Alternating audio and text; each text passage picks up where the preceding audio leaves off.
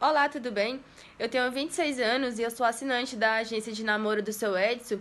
E eu me cadastrei aqui à procura de uma pessoa bacana, uma pessoa legal que esteja disponível, né? Conhecer o mundo, dividir aventuras, dividir coisas boas. E quem tiver interessado no perfil, entre em contato com a agência, com o seu Edson, para a gente se conhecer.